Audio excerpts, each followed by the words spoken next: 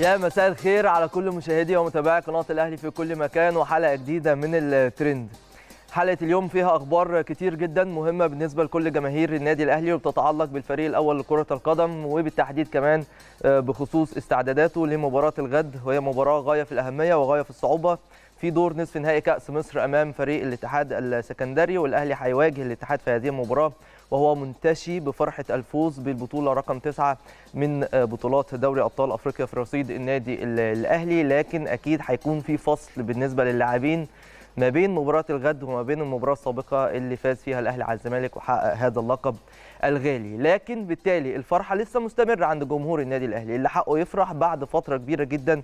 كان يعني ما فيش توفيق بالفوز ببطولة دوري أبطال أفريقيا. فبالتالي جمهور الأهلي يفرح والفريق الأول لكرة القدم مركز.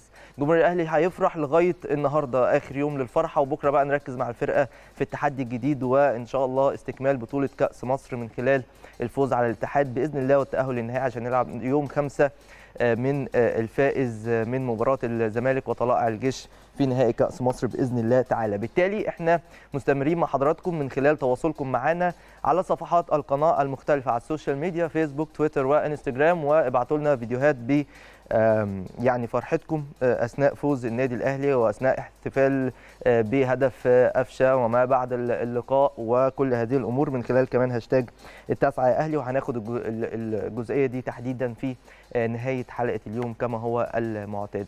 لكن البداية دايما بتكون بأهم العناوين نشوف. في ترند الأهلي الفريق الأول يدخل معسكرا مغلقا في السويس اليوم.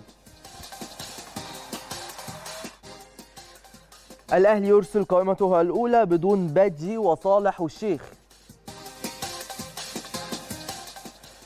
وكاف يرفض نقل السوبر الأفريقي من مصر.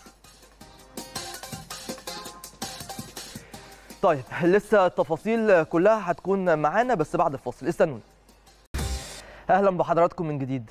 طبعا أخبار الأهلي وآخر الجديد اللي بيخص الفريق الأول لكرة القدم وبخصوص كمان القائمه الأولى اللي تم إرسالها بشكل رسمي. تفاصيل كتير جدا هنتكلم فيها وكمان بخصوص المسحة الأخيرة بالنسبة للاعبي النادي الأهلي. خلينا نبتدي بالقائمة الأولى اللي أرسلها النادي الأهلي النهارده للاتحاد المصري لكرة القدم وهي الخاصة بالموسم الجديد. وتم الإعلان من قبل النادي الأهلي بشكل رسمي إن خلاص القائمة الأولى تم إرسالها. ما تمش الحديث أو الإعلان عن أسماء المتواجدين في القائمة الأولى لكن تم الإعلان عن أسماء الغير متواجدة في هذه القائمة. وهم صالح جمعة وأحمد الشيخ وأليو بادجي بشكل رسمي الثلاثي خارج النادي الأهلي في الموسم الجديد. مش هيكونوا متواجدين في قائمة النادي الأهلي. لسه بقى الأمور دلوقتي بتتعلق ببعض الجوانب الإدارية وبعض ال ال الصفقات أو بعض الأمور العروض اللي ممكن تيجي لبعض اللاعبين منهم يعني. بخصوص أليو بادجي وصالح جمعة وأحمد الشيخ تحديدا. ده فيما يتعلق بالقائمة الأولى. لسه ما وصلتش القائمة الأولى بشكل رسمي سواء لينا أو للموقع الرسمي للنادي الأهلي فبالتالي مش هنقدر نتكلم عن الأسماء بالتحديد المتواجدة في هذه القائمة. لكن معنى إن الثلاثه دول مش موجودين يبقى الباقي موجودين في قائمة النادي الأهلي. لكن برضو إحنا في انتظار الإعلان الرسمي بكل تأكيد لأن إحنا هنا مرتبطين بالإعلان الرسمي.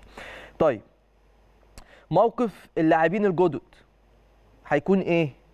زي ما حضراتكم عارفين إن القائمة الأولى كان آخر ميعاد لإرسالها النهارده اللي بتتعلق باللاعبين القدامى أو اللاعبين المتواجدين في القائمة الخاصة بالموسم المنتهي بالنسبة للدوري المصري أو الموسم المحلي تحديدا يعني. لكن اللاعبين الجدد يتم تسجيلهم بداية من الغد بإذن الله تعالى اللي هم مين؟ بدر بنون طاهر محمد طاهر أحمد رمضان بكم وكمان المعارين اللي رجعوا لصفوف النادي الأهلي اللي بيتمثلوا في ناصر ماهر وصلاح محسن ومحمد شريف وأكرم توفيق. موقف أحمد ياسر ريان لسه ما تمش الإعلان عنه بشكل نهائي. من بكرة إن شاء الله هيتم قيدهم وبالتالي كل هؤلاء اللاعبين هيكونوا متاحين بالنسبة للجهاز الفني في مباراة الغد أمام الاتحاد السكندري اللي هتكون في تمام الساعة 8 مساء في استاد الجيش بالسويس اللي نتمنى فيها كل التوفيق للنادي الأهلي. وهنتكلم عن هذه المباراة بالتفاصيل. هيكونوا متاحين لكن ممكن البعض منهم ما يكونش متاح طبقا للمسحة اللي هيتم الإعلان عنها رسمي عن نتيجتها خلال ساعات من دلوقتي. لو حد لا قدر الله عنده كورونا بشكل رسمي مش هيكون متاح بالنسبة للجهاز الفني سواء اللاعبين الجدد أو اللاعبين المتواجدين أصلا في القائمة. فإحنا في انتظار المسحة الرسمية. بالمناسبة بمناسبة المسحة الرسمية هي خلاص المسحة اتعملت امبارح عن طريق يعني مسحة PCR مسحة كاملة. مش rapid test خالص طبقا للبروتوكول الخاص بالاتحاد المصري لكرة القدم والتعديل الجديد اللي كان حصل من فترة عشان الأهلي يطمن أكتر. النتيجة هتطلع رسمي خلال ساعات زي ما قلت لكم وبالتالي هيتم تحديد القائمه يعني الأهلي في انتظار النتيجة الرسمية للمسحة الأخيرة عشان بعد ما تيجي النتيجة الرسمية دي يتم الإعلان عن القائمه الخاصة بمباراة الغد بإذن الله تعالى أمام الاتحاد السكندري ومن ثم السفر للمبيت في السويس ومعسكر الخاص بهذه المباراة. طيب ده فيما يتعلق باللاعبين الجدد وفيما يتعلق بالمسحه كمان النهارده كان في مران للنادي الأهلي هو المران الأخير واللي حضراتكم بتتفرجوا عليه دلوقتي على الشاشة ده كان المران الأخير بالنسبة للاعبين قبل السفر لمدينة السويس علشان يلعبوا مباراة الغد أمام الاتحاد السكندري وبالمناسبه يعني الاتحاد السكندري فريق قوي جدا بيضم جهاز فني يعني جامد قوي قوي وغاية في الاحترام والكابتن حسام حسن طبعا المدير الفني مدرب كبير جدا ومكون فرقة ممتازة هم عندهم كده كده فرقة جيدة من السنة اللي فاتت لكن في بعض التدعيمات كمان اللي انضمت لفريق الاتحاد السكندري. أبرزهم طبعا عمار حمدي لاعب الأهلي المعار لمدة موسمين ورزاق سيسي لاعب الزمالك المعار وجددوا اعارته في الاتحاد وكمان اتعاقدوا مع الأهلي من الأهلي مع كريم يحيى لمدة ثلاث سنين. وبالاضافه لعبد السميع إبراهيم سيمو ده لاعب منتخب جامايكا. بيقولوا لاعب كويس جدا وانضم للاتحاد. أو لا ده مش لاعب منتخب جامايكا عفوا. ده لاعب اسمه عبد السميع إبراهيم سيمو لاعب انضم للاتحاد. وفي لاعب منتخب جامايكا اسمه داميون لوي. وده المؤشرات كلها بتؤكد إن هو هيكون متواجد في مباراة الغد رغم ان تم الإعلان عن التعاقد معاه أول امبارح بس. وأخيرا محمد عطوة لاعب بيراميدز كمان انضم للاتحاد السكندري هم كانوا في معسكر لمدة يومين هنا في القاهرة وسافروا خلاص للسويس عشان يجهزوا لمباراة الغد. نتمنى المباراة تكون قوية لكن إن شاء الله بإذن الله التوفيق يكون حليف النادي الأهلي. وبمناسبه كمان مران اليوم اللي إحنا شايفينه دلوقتي ده كابتن محمود الخطيب وهي لفته غاية في الذكاء. من الكابتن محمود الخطيب حضوره لمران اليوم. إحنا متعودين دايما إن الكابتن محمود يبقى متواجد في يعني التدريبات تسبق المباريات المهمة جدا وبالتحديد هو كان متواجد في آخر كام مران بالنسبة للنادي الاهلي الأهلي قبل مباراة الزمالك في نهائي دوري أبطال أفريقيا. لكن معنى تواجده كمان في مران اليوم وقبل مباراة الغد أمام الاتحاد السكندري في نصف نهائي كأس مصر ده إشارة منه على مدى أهمية هذه المباراة وعلى مدى أهمية هذه البطولة وأنها لن تقل. أهمية اطلاقا بالنسبة لجمهور النادي الأهلي بالمقارنة مع بطولة دوري أبطال أفريقيا. طبعا بطولة دوري أبطال أفريقيا عشان منطقيين مع بعض هي الهدف الرئيسي في كل الأحوال يعني. لكن بطولة كأس مصر الأهلي طماع جمهوره طماع لاعيبته وجهازه الفني ومسؤوليه طماعين في حصد البطولات. فبصراحة يعني خطوة ذكية جدا من كابتن محمود الخطيب إن هو يكون حريص على حضور المران النهارده ويؤازر اللاعبين ويعني ياكد ليهم على مدى أهمية هذه البطولة ومدى أهمية مباراة الغد ومدى صعوبة هذه المباراة كمان أمام فريق الاتحاد السكندري فريق قوي جدا زي ما إحنا اتكلمنا عنه. فبالتالي نتمنى كل التوفيق للنادي الأهلي في مباراة بكرة إن شاء الله. ان أنت حتى الآن حققت الثنائية. طبعا دي لقطات من الجلسة اللي كانت على هامش المران ما بين الكابتن محمود الخطيب وكانت في استاد مختار التتش في ملعب في النجيلة يعني. وكلام وحديث مهم جدا بالنسبة له. زي ما بقول لحضراتكم أهمية هذه المباراة واضحة جدا من خلال هذا الاجتماع اللي حضراتكم بتشوفوه دلوقتي على الشاشة بشكل حصري على قناة النادي الأهلي. زي ما بقول لحضراتكم الأهلي حقق الثنائية في انتظار الثلاثية. خدنا الدوري خدنا دوري أبطال أفريقيا. ليه لأ؟ ما ناخدش كأس مصر. ليه لأ؟ بإذن الله كمان ناخد السوبر وننافس في كأس العالم للأندية. الطموح مشروع وإن شاء الله نتمنى للفريق الأول لكرة القدم كل التوفيق فيما هو قادم من تحديات هامة بداية من تحدي الغد أمام الاتحاد السكندري فاصل سريع بعدين نرجع نواصل. يلا بينا.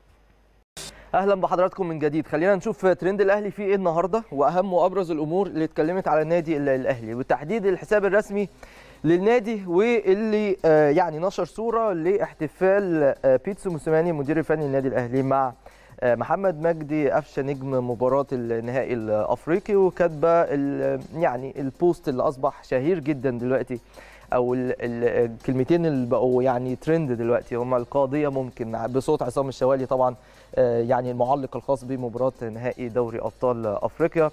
ويعني بقى أمر منتشر جدا أو كلمة بقت منتشرة جدا القاضية ممكن. هي فعلا كانت ممكن وحصلت وأصبحت حقيقة مش ممكن. والأهلي بقى بطل دوري أبطال أفريقيا للمرة التاسعة في تاريخه. طيب حساب جول بالعرب وبرده نفس الكلمتين القاضيه ممكن. طبعا بيتكلم وبيقول هكذا فعلها قفشه هكذا خطف اللقب وكتب التاريخ الأهلاوي الحديث التاسعة باللون الأحمر. طبعا كان أمر مهم جدا وكانت فرحة كبيرة قوي بالنسبة للنادي الأهلي وجماهيره ولاعبيه. طيب الخبر ده والتقرير ده كمان مش تحديدا مش خبر يعني هو من حساب يلا كورة على فيسبوك وبيقول بين الأولى والتاسعة تغير الكثير في الأهلي. وبقى محمود الخطيب بعد 38 عام فاز الأهلي باللقب التاسع وهو رئيس للنادي الأهلي. وخصوصا إن مع بداية أول بطولة أو أول لقب في بطولات دوري أبطال أفريقيا في تاريخ النادي الأهلي في 82 كان الكابتن محمود الخطيب لاعب في النادي الأهلي وساهم بشكل كبير جدا في هذه البطوله وتوالت البطولات. البطولة اللي بعديها كان أيضا لاعب. البطولات الأخرى كان عضو مجلس إدارة كان أمين صندوق كنائب رئيس لمجلس إدارة النادي الأهلي وأيضا أخيرا رئيس النادي الأهلي بالبطولة الأخيرة. خلينا نروح نشوف الفيديو ده ونرجع مرة ثانية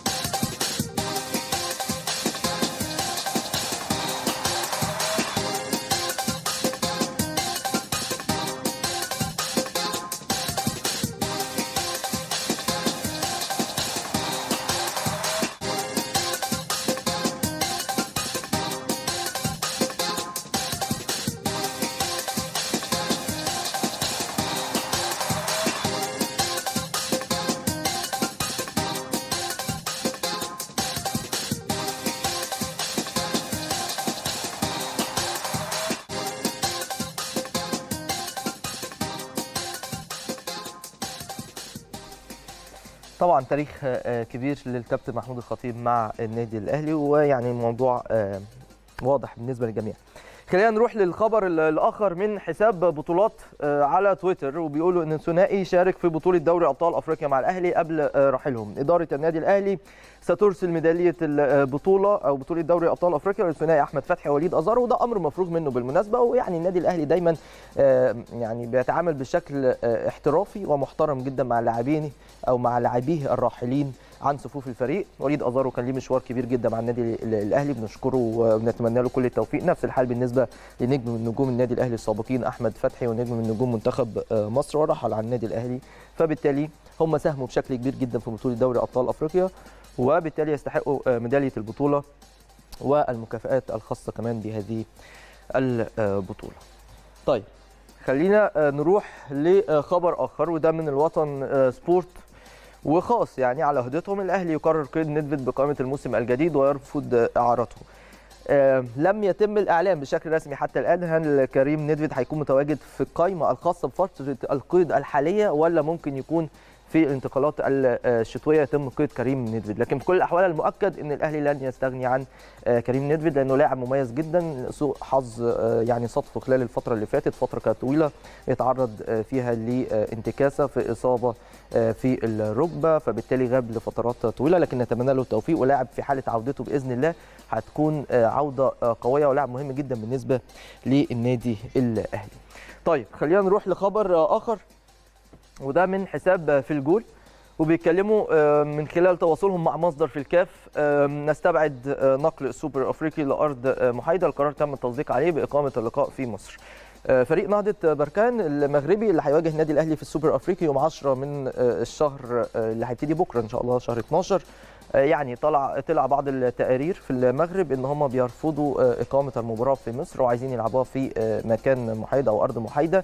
لكن ده أمر أعتقد هيكون مستبعد جدا لأن خلاص المباراة قربت ناقص 10 11 يوم على هذه المباراة فمش هيكون في مساحة من الوقت. هم كان من المفترض إن هم يعني يعترضوا في حالة رغبتهم في ذلك في ميعاد قبل كده بشوية. وكان ممكن الاتحاد الأفريقي يدرس الوضع لكن في كل الأحوال الاتحاد الأفريقي صدق على هذا القرار وأكد على إن المباراة هتكون في القاهرة أو هتكون في جمهورية مصر العربية وهي مباراة واحدة بكل تأكيد على السوبر الأفريقي. وما أعتقدش إن هيكون في أي مجال اطلاقا اطلاقا يعني لنقل مكان هذه المباراة من القاهرة. نتمنى كل التوفيق للنادي الأهلي بداية من تحدي الغد وصولا إن شاء الله بإذن الله بالمباراه النهائية في كأس مصر وإن شاء الله بإذن الله السوبر الافريقي كمان يكون لقب جديد في دولاب بطولات النادي الأهلي المليء بالألقاب المختلفة. طيب خلينا نروح لسوبر كورة. وحسابهم على فيسبوك وبيقولوا إن الأهلي يتمسك بإقامة السوبر الافريقي أمام نهضة بركان في مصر وده أمر مفروغ منه لأن خلاص ده كان قرار من الاتحاد الأفريقي لكرة القدم والأهلي ملتزم تماما بالقرارات التي تصدر عن طريق الاتحاد الأفريقي لكرة القدم لأن هو المنوط بتنظيم البطولات الأفريقية فالأهلي ملتزم ومتمسك أكيد بإن المباراة تكون في مصر. دي كانت بعض الأخبار تتعلق بالنادي الأهلي في ترند الأهلي النهارده. خلينا نروح لفاصل سريع بعدين نرجع نكمل. يلا. لسه مستمرين مع أخبار النادي الأهلي وكواليس كتير جدا هتكون معانا خلال هذا الجزء من حلقة اليوم من الترند. عشان كده خليني سريعا أروح لزميلي العزيز فاروق صلاح مراسل قناة الأهلي والمتواجد في هذه اللحظات في استاد التتش بالجزيرة عشان يطمنا على آخر استعدادات الفريق وخصوصا بعد انتهاء مران اليوم وقبل مباراة الغد أمام الاتحاد السكندري في نصف نهائي كأس مصر. يا فاروق. مساء الخير عليك. مساء الخير عليك يا أمير وكل التحية ليك وكل التحية لكل مشاهدي ومتابعي شاشة قناة النادي الأهلي في كل مكان. طبعا مبروك ليك يا أمير ومبروك لكل جماهير النادي الأهلي. ولكن طبعا يا أمير زي ما تعودنا في النادي الأهلي وزي ما الكابتن محمود الخطيب قال للاعيبه النادي الأهلي إحنا خلاص بنقفل الإنجاز وبنبص لبكرة وبكرة بتاعنا ده بطولة جديدة وحياة جديدة ومنافسة جديدة. أكيد. طيب فاروق عايز أتكلم معاك بخصوص مران اليوم وهو المران الأخير قبل مباراة الغد وأبرز ملامح هذا المران. يعني حطنا في الأجواء كده. أقربك من الصورة وللاجواء يا أمير النهارده حضور الكابتن محمود الخطيب رئيس مجلس إدارة النادي الأهلي لتدريب الفريق وإن هو يتابع التدريب واجتمع مع اللاعبين قبل قبل التدريب. ورسائل كتير يعني أعتقد النهارده وجود إن الكابتن محمود الخطيب يكون موجود في التدريب ده أكبر رسالة للاعبين إن إحنا كالنادي الأهلي مش طموحنا فقط دوري أبطال إفريقيا لا إحنا طموحنا دايما المزيد من البطولات. كابتن محمود الخطيب كان ليه كلمة مهمة جدا قالها للاعبين قال لهم قدرنا في النادي الأهلي إن الإنجاز والفرحة ما بياخدوش مننا وقت كتير في الفرحة. مم. عشان إحنا النادي الأهلي وعشان إن اللي جاي بيبقى تحدي أكبر وبيبقى بكرة بتاعنا في النادي الأهلي بطولة جديدة وحياة جديدة. ده كان كان كلام الكابتن محمود الخطيب للاعبين طبعا شكر اللاعبين على مشوار البطولة وعلى التتويج بالبطولة الأفريقية. أثنى على اللاعبين وهنى اللاعبين. لكن قال لهم دايما إحنا بنبص لبكرة ونشوف بكرة بيقول إيه ودايما عندنا بطولات جديدة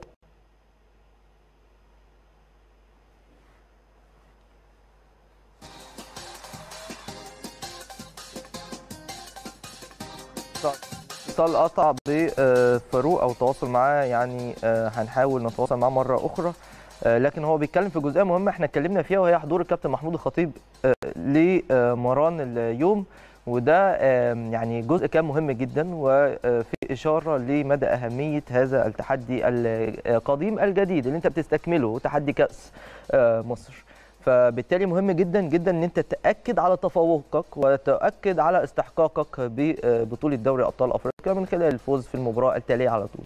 وتأكد كمان على شخصية النادي الأهلي لأن النادي الأهلي ما يعني لا يفرح كثيرا والنادي الأهلي لا يتأثر بالأفراح ونشوه الفرحة وبالتالي ممكن يتعرض لانتكاسة. لا مهمه قوي بالمناسبة وارد الكرة فيها كل شيء. انت ده طبيعي رياضه ممكن تكسب وتخسر وانت بتلعب فريق زي الاتحاد السكندري. لكن مهم جدا إن انت تعمل كل اللي عليك وتجتهد وتدخل المباراه بمنتهى الجدية وتثبت للجميع إن انت مصر على إحراز أي بطولة هذا الموسم تيجي في سكتك. إن شاء الله إحنا السكة قدامنا دلوقتي بطولة كأس مصر.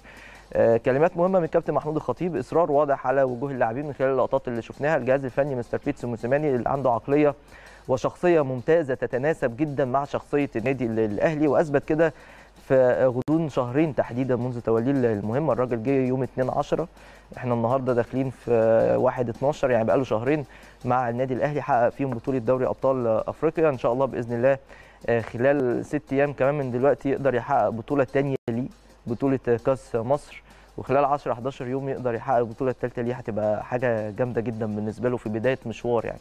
في غضون شهرين ونص أو أقل كمان يكون حقق ثلاث بطولات نتمنى وهنفضل وراه ونسنده هو والجهاز الفني واللاعبين بكل تأكيد. نرجع لفاروق.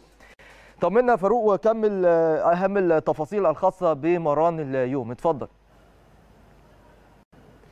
زي ما كلمنا امير على زياره الكابتن محمود الخطيب وتواجده الرسائل الكتير خلينا كل... يعني أكلمك أكتر بقى بشكل فني عن المران النهارده وأطمنك على حالة لعيبة النادي الأهلي.